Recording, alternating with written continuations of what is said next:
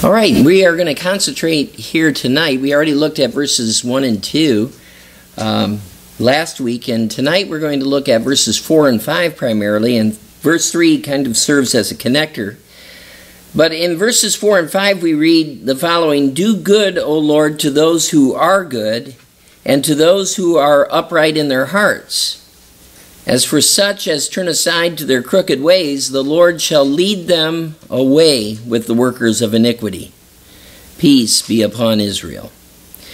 Well, you can look at this verse and you could probably come up with an outline pretty quick, right? The contrast uh, between two different ways is abundantly clear. You've got verse 4, which is all about those who are good. And then you've got verse 5, which is about those who are crooked. Now, verses 1 and 2 are significant when we talk about the idea of people being good and people being crooked uh, in this psalm because verses 1 and 2 talked about the steadfastness and the security that belongs to those who trust in the Lord, using the geography around Israel, or around Jerusalem particularly. So tonight, what you have here are those who are good. And yet, the Bible says in Romans 3 there are none good, no, not one. So this passage says, no, there are. There are those who are good. And so we have to ask the question well, how can this be? How can there be good people when the Bible says there are no good people? And the answer is pretty clear. The answer is that they trusted in the Lord first. That's verses 1 and 2. And because they put their trust in the Lord, the Bible tells us He makes us good when we do that. And isn't that how it happens at salvation? The moment that we're saved, the Lord makes us good. We're the upright, we're the righteous. He's given us His righteousness. He makes our lives good. And then it says that we become upright workers of righteousness. That's what it's telling us. But then you've got crooked people. These crooked people are workers of iniquity. So you've got upright workers of righteousness and then you've got crooked people, they're not straight, who are working iniquity. And the thing that connects all of this is verse 3.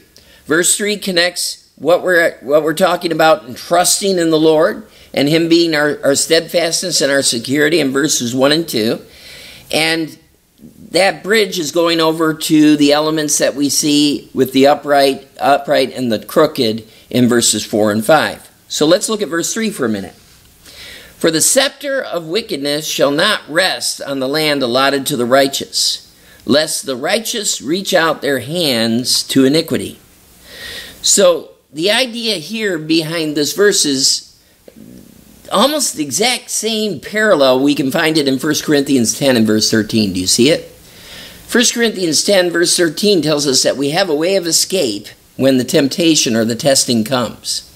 Well, this verse is saying that the scepter of wickedness it's not going to rest upon the land uh, that is allotted to the righteous. Why? Because then the righteous will reach out their hands toward iniquity.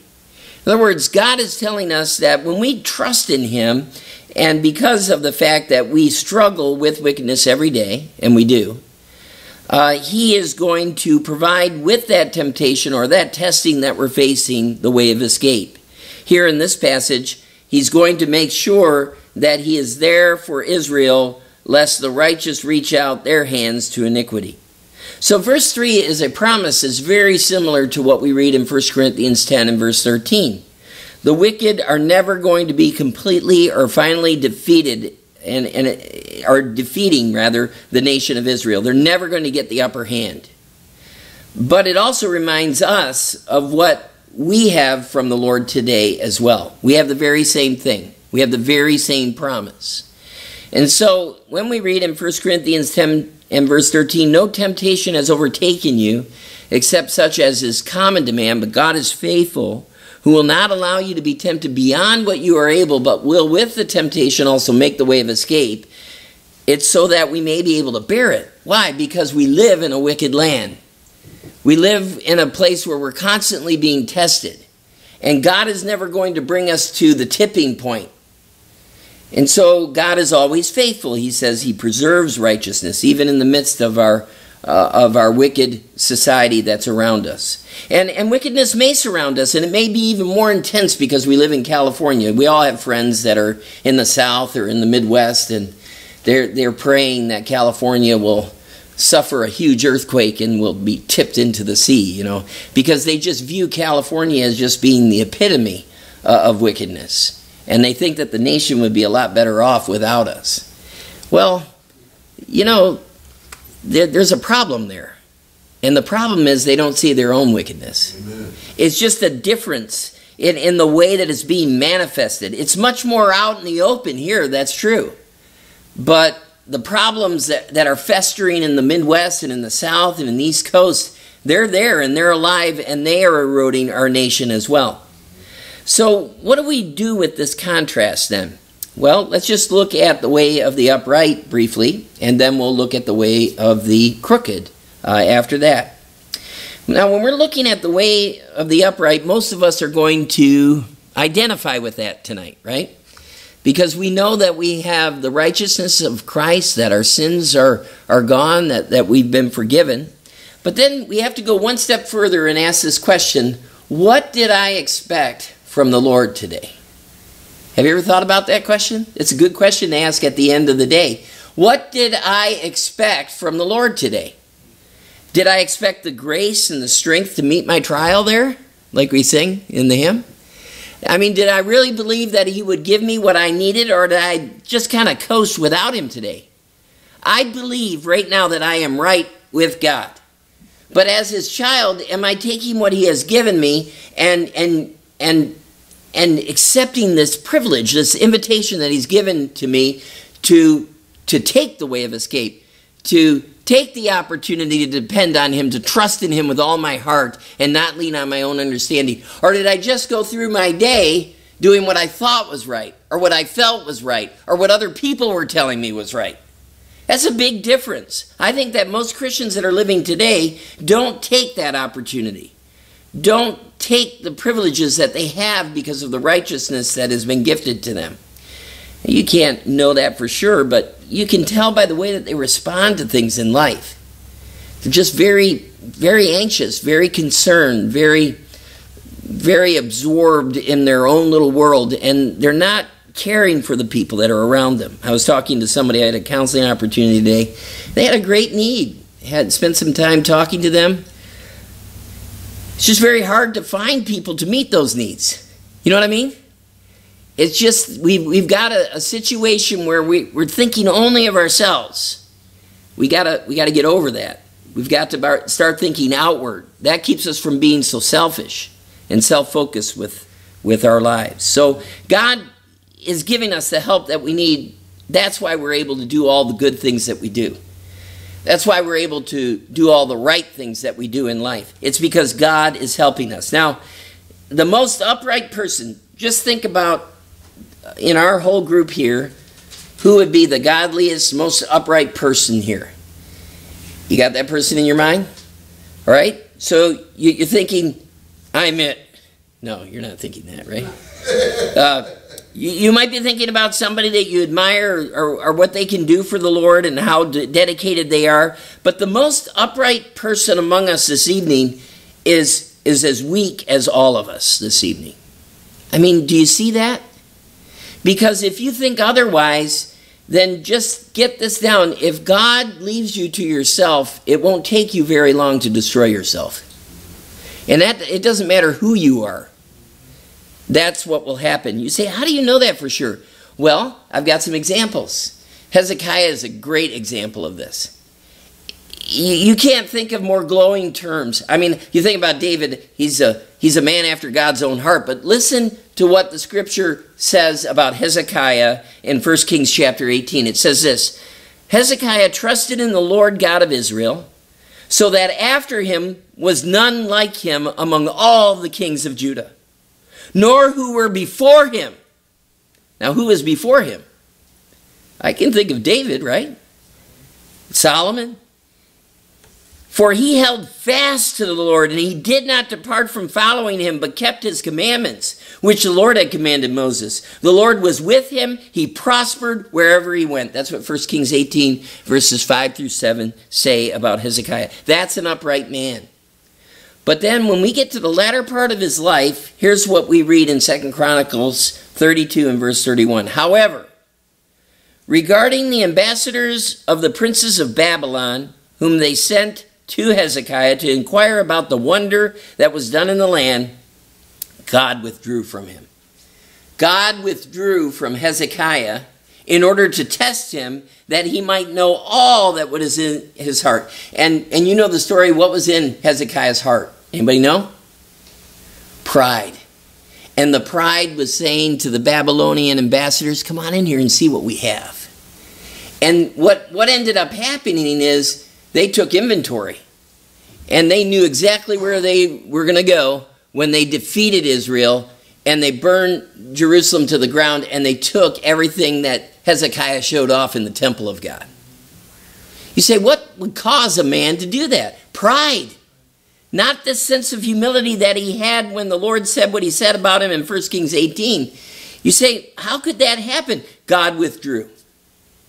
See, if you don't know that you're weak, there will be a time in your life when God will withdraw, and then you'll find it out. You'll find it out real quick. And so I think that's what we're seeing. Abraham's another great example of this. Here's a man who epitomized faith. The New Testament is very clear about this. Romans 4, Hebrews 11, Abraham's life, so much of it in the book of Genesis, one of the great four men in the latter half of the book. And so when you read about him, you're thinking always in positive, glowing terms. But what did he do concerning his wife because of his insecurity and lack of faith? He lied. He lied and said, my, That's not my wife, that's my sister. Even to the point where these heathen leaders were, were taking Sarah to be their own wives. I mean, you say, How could a man get to that point? Well, all it takes is for God to withdraw himself. His son Isaac, did he do the same thing? He did the exact same thing. Now, we do good, O Lord, to those who are good, uh, to those who are of upright, uh, upright in their hearts. So, if God doesn't do good, this is the point that I'm making here. If God doesn't do good in me, then I cannot be good or do good myself. That's the point. And so our dependence needs to constantly be upon Him. One of my favorite verses in all the Bible, uh, probably my life verse, if you could, you know, have one, is Psalm 84 11. Because of that goodness of the Lord that's constantly coming into my life, flowing into my life. For the Lord our God is a sun and shield. The Lord will give grace and glory. He's a giver. He gives grace and glory. No good thing will he withhold from those who walk uprightly. Yeah, we, we serve a great God. So even in our difficulties, we find God's opportunities. Think about that. In our difficulties, we find God's opportunities to show His goodness and His benevolent, benevolence toward us. But then there is the way of the wicked. The way of the wicked. These are people who willfully turn aside, the Bible says, and then they are thus led away with the workers of iniquity by the Lord Himself. They knew the way of righteousness, the Bible says. They knew it. But they chose the way of wickedness. And so the Lord led them away with the workers of iniquity. You say, well, were they children of God? No. They were children of iniquity. They were children of wrath. We know this because the Lord tells us that they were. This is like what Peter said in 2 Peter chapter 2 and verse 21. He said, "It would have been better for them to have not known the way of righteousness, than having known it, to turn from the holy commandment delivered to them. We see this in Israel. We see this in Christianity today. People who are pretenders. People who know, but they don't really know. I mean, they know in a, in a very uh, objective way, but they don't have a relationship with God. They know objective things about God, surprising amounts of information, but they turn aside. They're apostates. They leave God. And because of that, God leaves them after He leads them into the way of the wicked. We, we have peace, though, with God because the Bible tells us very clearly that we have it. We have peace with Him just as Israel had peace. We have peace with Him because of our Lord Jesus Christ. The way of peace they have not known, Isaiah said in Isaiah 59 and verse 8. And there is no justice in their ways. They have made themselves crooked paths. Whoever takes that way shall not know peace. Isaiah 59 and verse 8. So you say, well, what do I learn from that? What I learn is if I choose to turn aside to my own crooked way, I won't have the peace of God within me. And it may be evidence of the fact that I'm not His. You say, how can, how can you say that? I can only say it about me. I can't say it about you. But I can say that there's a strong warning for all of us here. God can winnow through all of the pretenders, and He knows the difference. We have peace with God through our Lord Jesus Christ. If we are depending on Him, then the peace and the stability that we need in the present will be there. We just trust in Him. And the security that we need for the future, that will be there as well. It's enduring, as verses 1 and 2 say. And we can trust in Him. We won't be taking the way of the wicked. So let's wrap this up. If you have upright character, then what needs to happen in your life? Well, you need to produce a righteous lifestyle. You need to have an upright lifestyle. So that means only those who are upright may expect good from the Lord. You say, well, do do uh, do unbelieving people do good things? Well, they do. They do good things, but the expectation and the prayer, uh, all of that is missing, and I think that that is missing in the life of a believer sometimes. We don't have this expectation that God is going to move. We don't pray because we no longer believe. And that's when we face the danger of turning aside to our crooked ways. And the Bible is telling us that as an observer, all we can say when we see that happening in our own lives, when we see that happening in the lives of the people around us, all we can say is it reveals something about the inner man of that person, the interior of that person. There's something wrong, and it's a strong warning for that person. Because if we're living with the way, way, way of iniquity and the way of the uh, wicked, if we're living in that way and we're going on for a time in that way, right, and that's not leading to chastening, then the Bible's pretty clear we're not believers. Okay? And there's a big, big problem. If you're if you're not, you're going to be led away by the Lord Himself in, in with the workers of iniquity. And pretty soon, before you know it, spiritual things won't matter to you anymore. Secondly, if you have upright character, you're going to have many turning points throughout a week. I don't know about you, but I have turning points multiple times throughout the day. Constantly getting my head right and my heart right with God. What are those turning points called in the Bible? They're called repentance. We turn away from poor thinking, from poor decision making, and we start depending upon the Lord again. We're constantly doing this. That's a good sign. You turn aside from sin to, to righteousness and to this idea of sanctifying repentance. Anybody that teaches a believer that there shouldn't be ongoing repentance in that believer's life, that person is a heretic. Amen. There is something wrong with them. They're not teaching the truth of Scripture. Ongoing repentance, what does it do for us? It, re- it restores joy, it restores hope in the life of a believer. We're recognizing wrong and we're bringing it out there. We're putting it on the table before the Lord and saying, Lord, this isn't right about me. I've got to change. Please help me change. And we ask God, God, may we be faithful when it comes to this. Help us to do the right thing. And the Bible tells us that He will do good in us. He will do good for those who are good. And I don't know about you, but I'm good. I'm good only because of Christ and his righteousness in me. And the fact that all of my sin, past, present, future, is under his blood. Let's pray together.